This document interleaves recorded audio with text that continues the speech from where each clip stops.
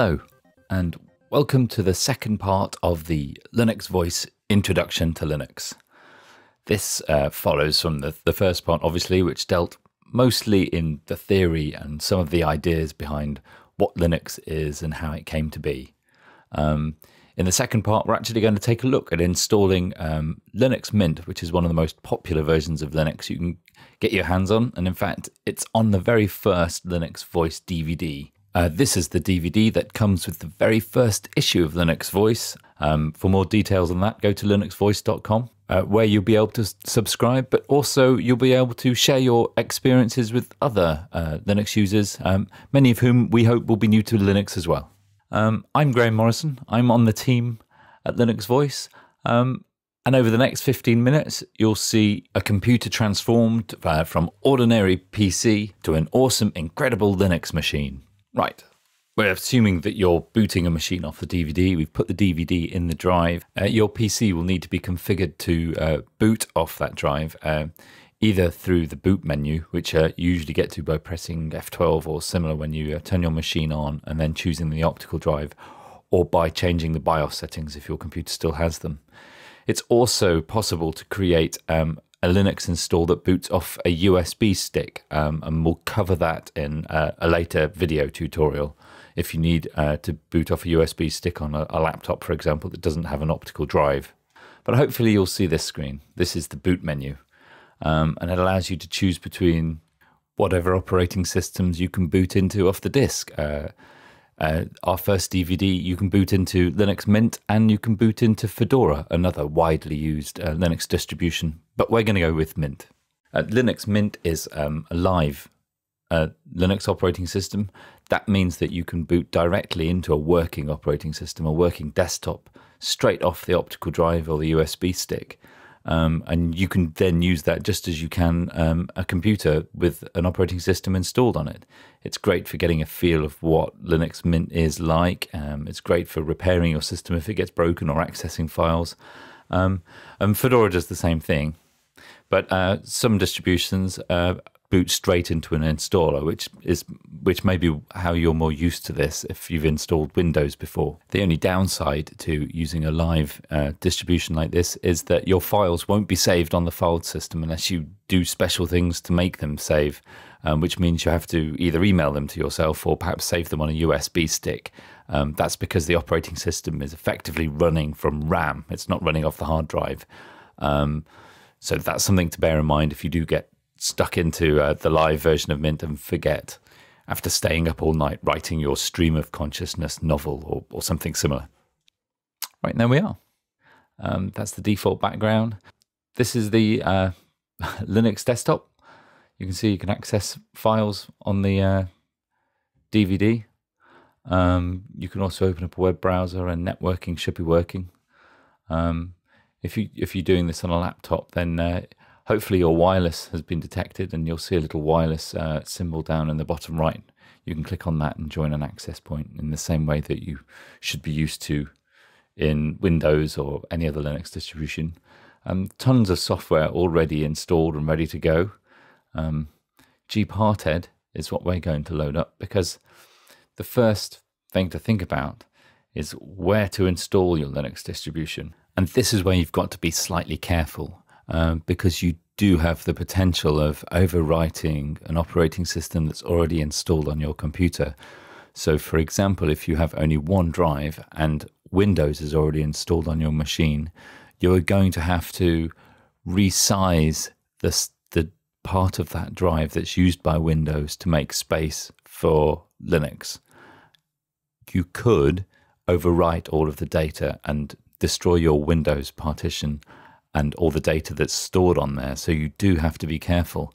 We'd recommend, if at all possible, using a complete drive for Linux. Um, and hopefully, maybe in a machine that doesn't have a drive installed where you can possibly mess up, especially at the beginning um, when you are finding your feet. Um, but if you do know what you're doing and how your drives, your storage is structured, um, gparted will tell you everything you need to know about what's installed. So, uh, as you may have just seen there, we on our system we do have Windows 7 installed um, on a drive. It's called SDA here, 40 gigabytes. And we're going to leave that alone. We're not going to touch it. We're not going to resize it. Um, we're going to create our own completely blank Linux installation on this second drive, um, this second 10 gig drive. Um, as this drive is completely new, um, you actually have to create a partition table on it first. But you, if you've ever used your drive before, you won't have to do that. Um, of course, the caveat you're going to lose all data doing this to whichever drive you select, and it's the same when you go on to install Linux through the Linux Mint uh, installer as well. And in fact, that's all you have to do. Um, you can manually create partitions here, um, but we're not going to do this. We're going to we're going to let the Linux Mint installer do this.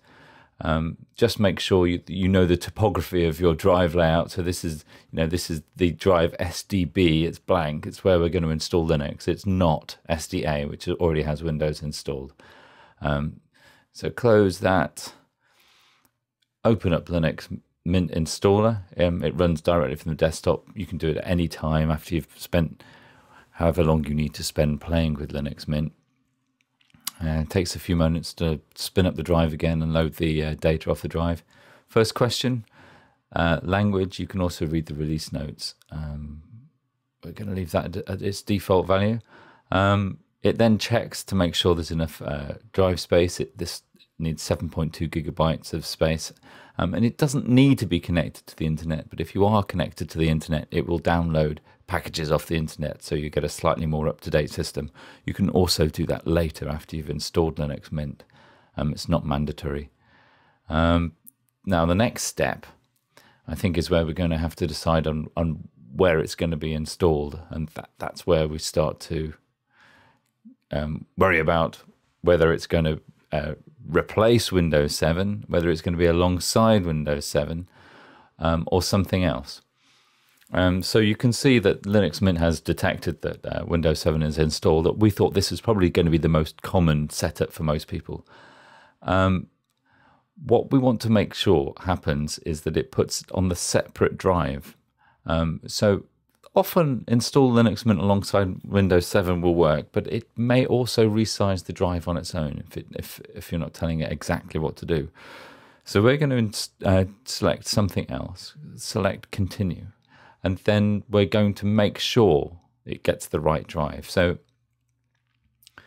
here, SDA1 is in fact the Windows drive, um, and you can see that NTFS is actually the file system used by Windows. SDB is the completely blank second drive that we're going to use um, for Linux Mint. So you need a minimum of two uh, partitions. They're the kind of spaces you create on your partition uh, for storing files. You need one which you call root, um, and that has a mount point of slash. That's going to store everything. We're not going to have a separate place for our personal files. It's all going to be stored on the root partition. And we're going to make that uh, 10 gig um, leaving a, um, a little bit of space left over for the swap drive, which we're just adding partitions, um, and then you just tell it that you want the remaining space to be the swap partition. Um, the nice thing about this overview is you can see what information is going to be overwritten. So it's only going to be SDB1, the partition we just created, that's going to be formatted and it's going to be formatted using the default selection, which is a file system called ext4, which is the best option for anything. Really, it's the standard Linux file system. Before this came ext3 and ext2. You can experiment with other operating systems, it's quite good fun, but we're just going to go down the tried and tested route. You need to have one mount point, which is this slash, which means root, which means everything. Um, and then you can go ahead and click on install now. It will uh, format that partition we just created. Uh, that's where you lose all data that would have been on there um, and then start copying the files. Cleverly, it does all that in the background while it asks you a few simple questions, starting off with where you are. It looks like it's guessing this by the IP address. Um, we're not up in Scotland, but it doesn't really matter as long as you get the right time zone. It's, it's actually quite good fun to play around with this. You can, because it's quite a good visual indication of what time zones actually are. And some of these are weird. Um, who'd have thought that's the same as the UK time zone? But anyway, London for our time zone. Next option, we're going to be asked about our name. Um, oh no, next option, we're going to be asked about uh, the keyboard setup uh, because there can be some ambiguity in this. Uh, luckily, it's detected the default values, but especially if you're using some European keyboards with uh, with some accents on the character, then you may want to go through this detect keyboard layout system, um, which fine tunes and makes sure the keyboard that you're using is the right one. And we're just going to click on continue. Um, I think the next thing that we're asked now is for um, our name um, and then a name for an account on the computer. So our real name is used to default things like email.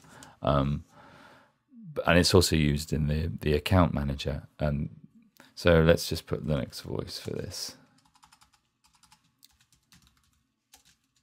Um, your computer name, we're doing this in a virtual machine, so it's already come up as VirtualBox. But let's call it Linux Mint. You most often see that on your router if you use one at home, um, where a, a, system or an IP address has been identified according to the name given to it on the network, and this is this is what you'll see um, there. Um, username, um, it's Linux because it's taken it as our first name. It could easily be Graham. Um, that's what you need to actually log into your system. Um, if you have require my password to log in set. If you set this to log in automatically, you won't even be asked. But behind the scenes, you'll still have this your, your username. And that can become a consideration if you then start to use your machine as a server on the internet. So if you want to get access to your machine from the internet, it's typically your username and this password that you'll use. Um, um, so it makes a lot of sense to make this as powerful as um, as strong as possible. Password doesn't do it. Password um, with some numbers and a capital letter. It says it's. Uh, let's just just. You can spend some time playing with that, and it. Um, log in automatically. That's fine if this is your machine at home and it's not going anywhere. If it's a, a laptop, I guess you may be slightly wary that if somebody opens up, if you if you happen to leave it somewhere and somebody opens it up um, and turns on your computer, they'll be able to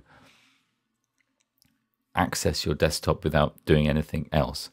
Um, if you encrypt your home folder and you set require my password to log in, um, even if they do have access to your hard drive, and even if they do have access to the laptop, you should be relatively safe. Um, but for our home desktop machine, we're not going to bother with the encryption, although we will ask it to log in because it's another stage that we can show in the next video. Um, I think that's about all you're asked for with Linux Mint. It's a remarkably simple installation process. Um, three questions.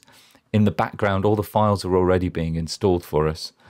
Um, if you're connected to the internet, it will also download a load of updates for you. Um, it's now just a case of uh, waiting, um, usually only five or six minutes. I'm not going to let the video, I'm going to cut the video at this point, cut to when the section is. But if you want to see how long it's going to take on this virtual machine, let's look. It's now 11 minutes past six. Um, so I'll come back to the video when we're closer to this copying progress bar being up this end. Um, and in the meantime, you can just flick through some of the uh, the nice illustrated features that you're going to be able to enjoy once Linux Mint is up and installed on your machine. Okay, I'm back. In fact, the progress bar got to the very end. Uh, then it started again uh, with installing system. And I think at the moment it's just doing some uh, housekeeping. You can actually check for more detailed output by clicking on this small down arrow. Um, you can see this is too technical for it doesn't matter, but you can actually see that it's downloading some extra stuff from the internet and installing language packs is, is what it's telling us it's doing. Um, I've got the feeling it, it isn't going to take long from this stage, depending on uh, the speed of our internet connection here. Um, you might notice here that um, it's downloading packages from Ubuntu, from uh, the Ubuntu uh, servers. Um, and that's because Linux Mint is a, a, derivative of Ubuntu. It's built upon uh, the Ubuntu distribution itself. Um, there are some significant changes, but it still heavily relies upon uh, the effort that goes into creating Ubuntu, um, the distribution itself, and of course, um, in terms of packages and servers and bandwidth, a lot of that comes from Ubuntu servers as well as Mint's own for all of the changes that it offers. But it also means that you get an incredible breadth of packages and great hardware support, as well as uh, a different user interface. That's what Linux Mint is all about. Um, this desktop environment is is uh, is different to Ubuntu. Um, it's got a slightly different ethos as well. Um, so configuring hardware, um, let's come up with a wine configuration panel there. Hopefully that won't be long to go.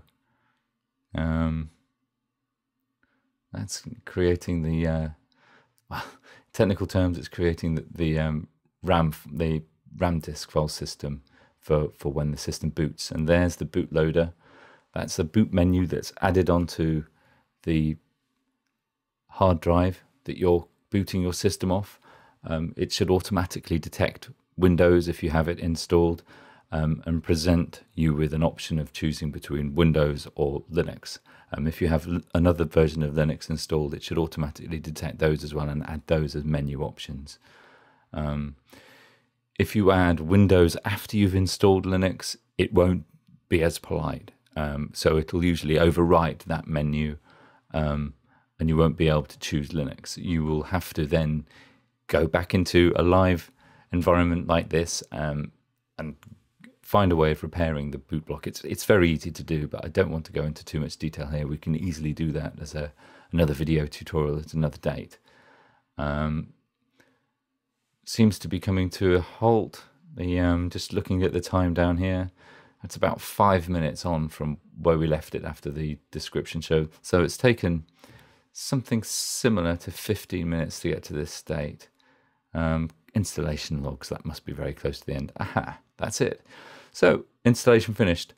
We can choose to carry on using this environment and then restart the machine whenever we're ready, or we can restart now and check out our new native installed Linux Mint environment. I'm going to do that now so that we can test to make sure that the boot menu is installed correctly and detected Windows 7 correctly, because I think that's what a lot of people are going to be doing, um, and show you that hopefully it's as easy as selecting Linux Mint to get into your new Linux machine. Let's click on Restart Now. Okay, well, uh, I couldn't get a screen capture working on that uh, the beginnings part of uh, the boot process there. Um, when I restarted it, ejected the optical drive, um, came up with the BIOS screen, and then a fraction of a second later, it has uh, shown me the boot menu with Windows 7. If you want to uh, load back into the Windows environment, or here we've got Linux Mint 16 ready to go uh, as we just installed it. Um, that's all there is to it. Um, the next video, I'll show you first steps with Linux Mint 16, um, simple processes of how to use it, what kind of apps you can install to do um, all the things that you might be used to. Um, and it's going to be the next step of a great adventure. So um, thanks for watching, um, and I'll see you then. Bye.